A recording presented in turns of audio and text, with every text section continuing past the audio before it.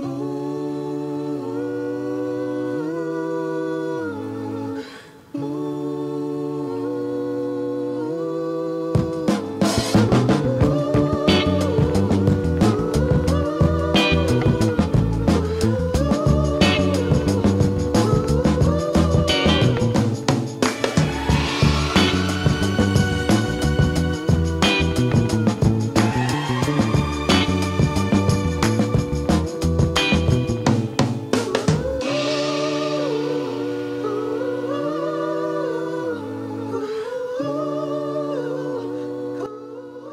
Dobrodošli. Danes smo za vas pripravili en cel tak vodnik različne simbolike.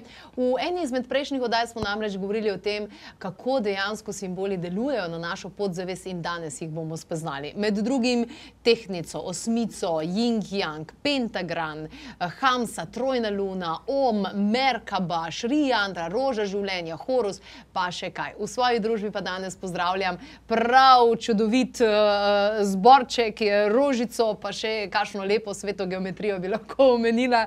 V moji družbi namreč dr. Maja Papež Iskra, svetovalka za osebno rast, Igor Štrucel, raziskovalec življenja in zavesti in Nina Kassandra, klun alkimistka.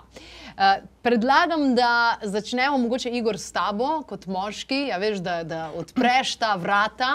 Um, pa bi morda začel Igor ravno z Horusom? Ja, Lahko. uh, ja, Horus je eden najbolj znanih simbolov starega Egipta, poleg verjetno Anka. Um, povezan je z tistim najbolj znanim mitom v Egiptu, Oziris in njegov brat Set, ki sta imela bitko in je Siris, pardon, Set Ozirisa nekako ubil in potem je Horus to mesto zasedel in, in potem sta se Horus in Set borila in mu je to oko iztaknilo ven, sprav levo oko. Mhm. Zdaj to oko kot vse ostali simboli v Egiptu, ima zelo, zelo veliko različnih pomenov in različnih nivojev, kako bi rekel, pristopov in nivojev zavesti. Od pomlajevanja do zaščite. ja, a, ena stvar, ki je ljudje menijo, je, da so dva očesa, eno je Horosovo oko, eno je pa Rajevo oko, oziroma oko Raja, Reja. Imata zelo podobno simboliko, ampak hkrati pa nista ista.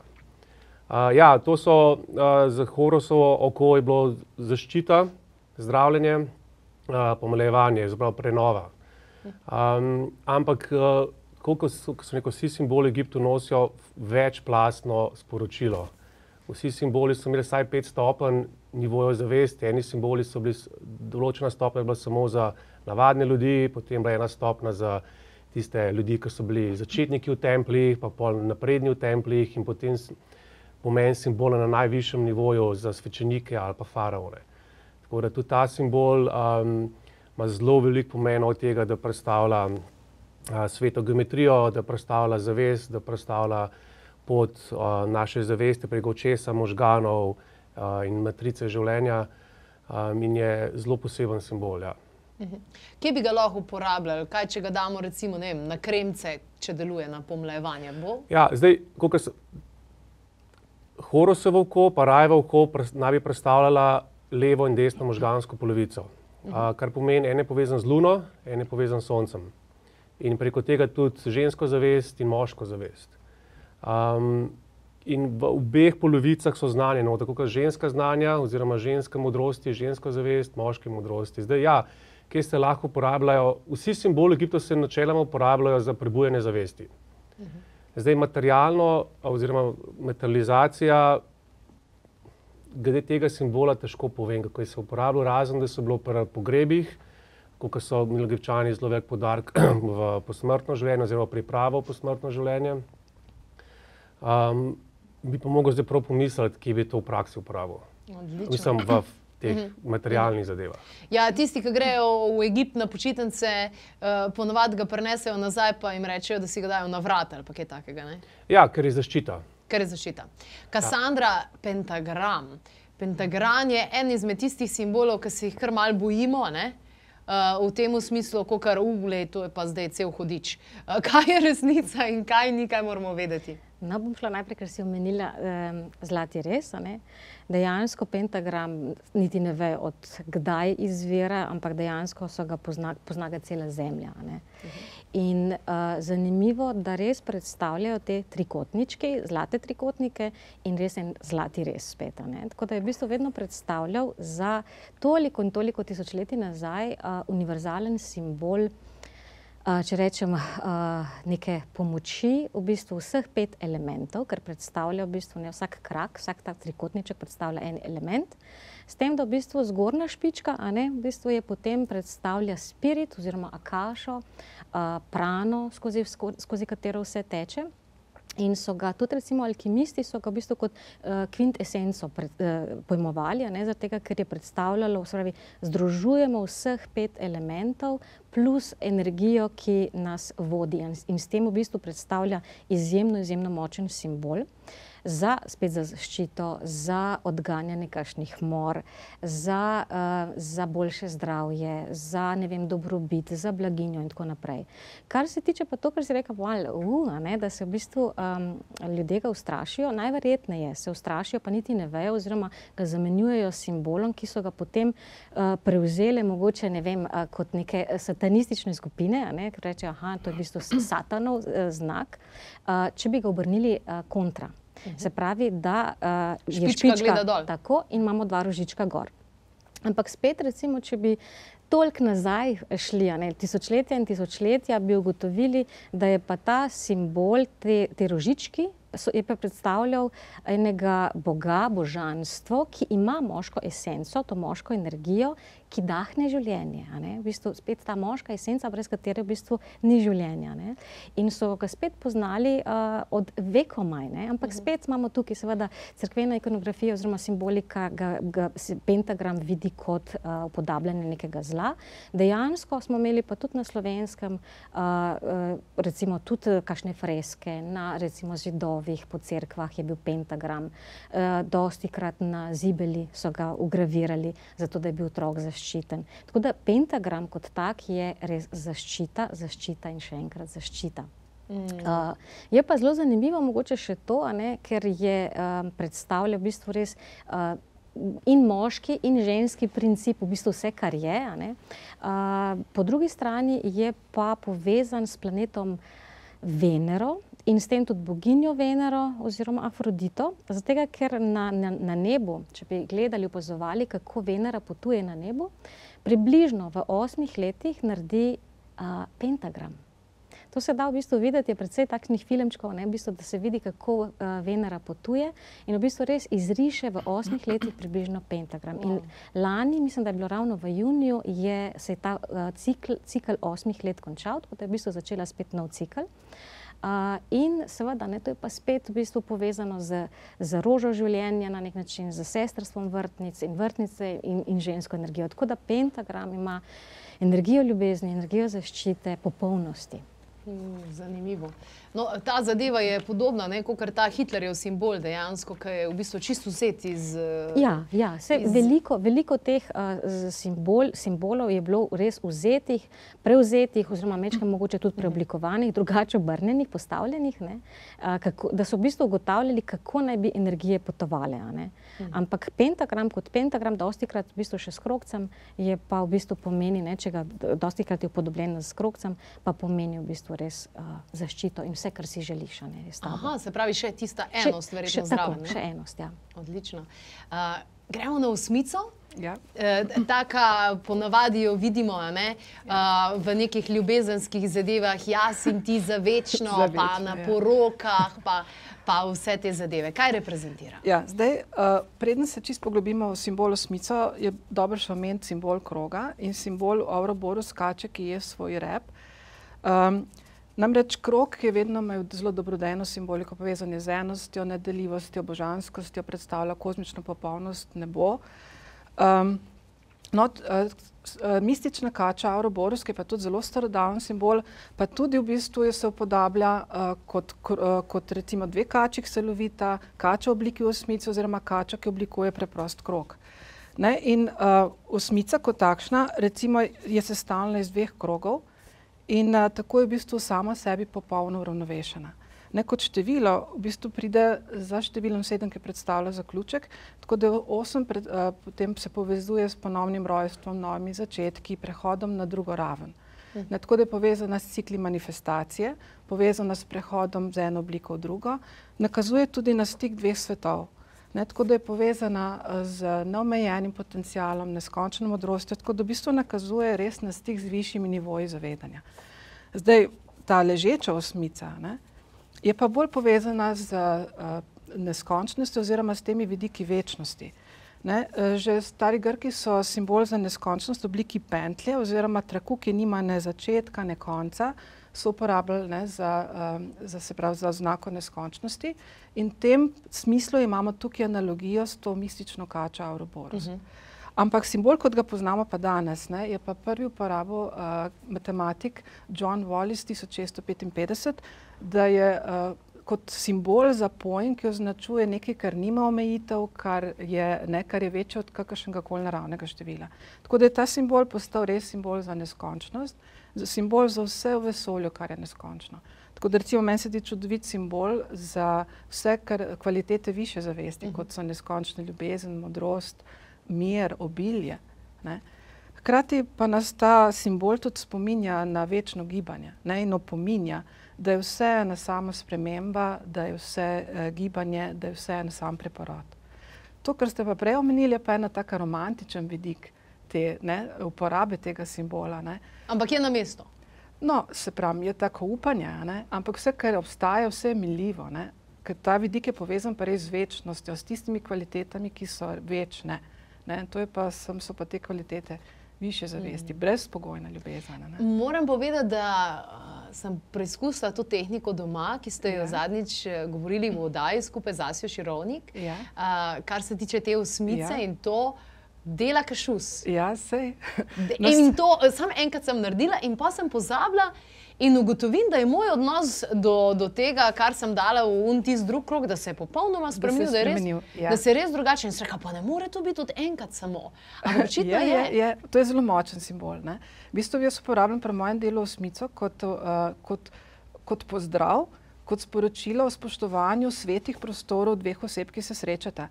In potem neonska modra uh, uh, svetloba, ki riše osmico, omeji te osebnostne vplive in projekcije, ki so tako značilne mm. za naše odnose.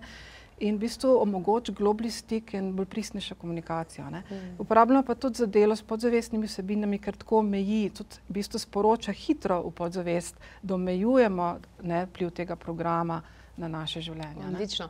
Jaz predlagam, da si pogledate na klepetopkavi.js tole minulo oddajo, torej Asija Širovnik je bila gostja in dr. Maja Papež Iskra. Uh, Igor, greva mi dva naprej na mojo ljubo rožo življenja, ki me je učarala že toliko časa nazaj. In, um, uf, vsak od nas je imel eno obdobje, ki jo je kar riso, pa niti ni vedel dejansko zakaj. a ne. Ponovadi takrat, ko dobiš še stilo, pa si pa čisto navdušen. Ja.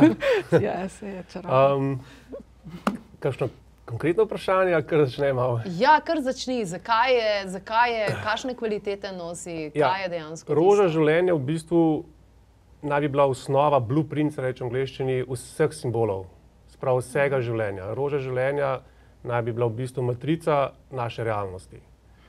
A, zdaj mi poznamo to rožo življenja, ki ima krok okolja, ne? zdaj ta znan učitelj Drovala Makizde, ki je to dobro predstavljal že ne, vem, 30 let nazaj, je rekel, da so to stari narodi oziroma mistične šole to krok dal okolje zato, da so v bistvu skrili tista največja znanja.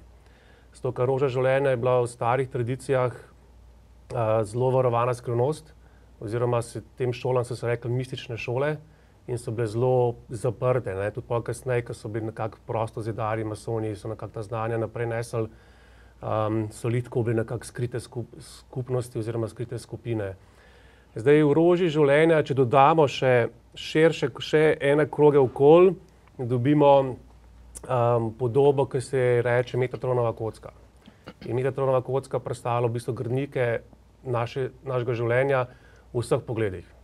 Se pravi, uh, vsa znanost, uh, kemija, biologija, medicina, narava, živali, vse, kar obstaja, čustva, emocija, glas, oziroma um, zvok, vibracija, frekvenca, vse izhaja iz teh podob. ven. Um, zato so jo stari narodi uporabljali kot za upravljanje zavesti življenja na vseh nivojih. In fizično, in čustveno, in mentalno, umsko, zavestno, energetsko, in povezavo s, v bistvu, s celo zavestjo življenja. Um, Meni je bilo zelo Ja. zanimivo, ja. ko sem brala orožje življenja, da se je pojavljala po celem svetu, v povsem različnih religijah, ki niso imele nič skupnega. In da je to nekaj najbolj nenavadnega, da deluje kot nek svet, sveti jezik. Ja, um, tukaj pravi, da bi matematika oziroma geometrija bila jezik splošnega mislim, znanja. Ja, pojavljala se je posod. Najbolj znani so v Egiptu, v Grčiji, v Turčiji, na Kitajskem, sever Evrope, sprav Azija, mogoče v v Amerikah, ne vem točno, če je bila ful pogost najdena, ampak načeloma po celem svetu. Ja. Um, ja, uh, znanja so noter, ki so bila najbolj skrivna in najbolj sveta. Um, tudi Fibonaccijevo zaporedje, vse, vsi simboli, ki prihajajo, so iz te rože življenja. Ven. Zdaj, ne vem, bomo videli, če bo šlo globi. Ne? Mi smo to uporabljali za v bistvu samo inicijacijo. V mesečnih šolah je bilo zato, da si ti risal različne stopne zavesti oziroma različne kozmograme, zato da si samega sebe inicijiral preko oči, možganov in zavesti in polja um, in se si s tem pomagal pred osebnostnim in duhovnim razvojem. So pa sveto geometrijo seveda uporabljali za gradnjo piramid, templov, kipov, materijala. Prav, da recimo v Egiptu je bilo skoraj vse narejeno po sveti geometriji.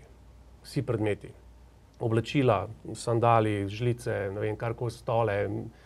Vse je bilo narejeno po teh proporcijah zlatega reza oziroma matematike, ki je povezano bilo hkrati z vesoljem, hkrati z zemljo, hkrati z vsemi aspekti življenja. Um, mene je to fascinantno bilo pri Egiptu, kar je tudi povezano z življenjem da, je, da so uporabljali neko vrsto sveto znanost, kar pomeni uh, znanost, ki vključuje vse znanosti v eno znanost. Um, rdeča nit je pa v bistvu zavest, consciousness, ampak kemija, medicina, fizika, gradbeništvo, astronomija, astrologija, vse je bilo povezano v eno nepretrgano, ne ločeno znanost v starem Egiptu. Ne. Tudi mislim, da so tudi v Indiji to imeli, pa, pa tista prva civilizacija v, v Mehiki oziroma v Južni Ameriki. Ampak v Egiptu je bilo to najbolj, kako bi rekel, zna, najbolj so bili znanstveni pri tem. Mm. Najbolj so znanstveno pristopali, ampak hkrati so oni vključevali mistiko, ezoteriko, pa znanost kot tako. Ne, Mhm. to, našo naravoslovno znanost. Ne. Ja, jaz sem se tega lotila zelo tako enostavno.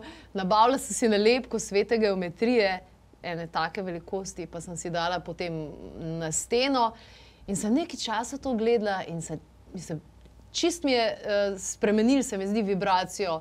Uh, Čist drugače sem bila fokusirana, malo naravnana in tudi cel prostor je dobo nek tak, ne vem, kot da bi bila drugačna klima. No, v tem smislu. Ja, zato, ker uh, roža življenja oziroma sveta geometrija predstavlja um, popolno harmonijo. Ne, vse je v uravnovesju. Ne, zdaj, jaz ponovadi ljudem to tako razlagam, da mi ljudje smo bolj manj vsi poškodovani, tako drugače, čustveno, psihično, fizično, nismo jih v uravnovesju. Ne. In sveta geometrija je pa popoln, popolna matrica, blueprint. Jaz ljudem tako rečem, da če je to sveta geometrija, ki je perfekt, mi smo pa tako sesuti, nekako zgrbančeni, da če jo rišemo, se enačimo s to popolnostjo. Ne, tudi ta vitruvijski mož od Leonarda da Vinčija je zelo dober primer tega, ne, ker je uporabil popolne proporce človeka, moškega in žensko v različnih oblikah svete geometrije. Mm, se pravi, bi lahko rekli, da nam pomagajo priti do nekega ekvilibrijuma, ravnovesja. Ja, Super. Uh, Kassandra, greva morda na trojno luno. Trojna luna, seveda lunarna energija, oziroma je predvsem predstavlja že žensko, oziroma sveto femino. Uh, in pač ta lunarni ciklus, se pravi, uh, ko luna, v bistvu najprej imamo ne, en delček lunce, pa potem polno luno, pa potem v bistvu zadnji del, ne, se pravi, kako dejansko mi rečemo, uh, crkuje potem. Ne. In da gre za, za uh, dejansko uh, ni, lunarni cikl, ki bi v bistvu pomen, pomenil v, bistvu v širšem, ne, če gledamo tako uh, rojstvo, življenje in potem padec, se pravi, pridemo do smrti in spet ponovnega rojstva. Zdaj spet je to zelo, zelo, zelo res star uh, simbol. Uh, tako kot Luno, kot, kot Sonce, recimo, ne, in ostale planete so Luno seveda imeli zelo, zelo radi.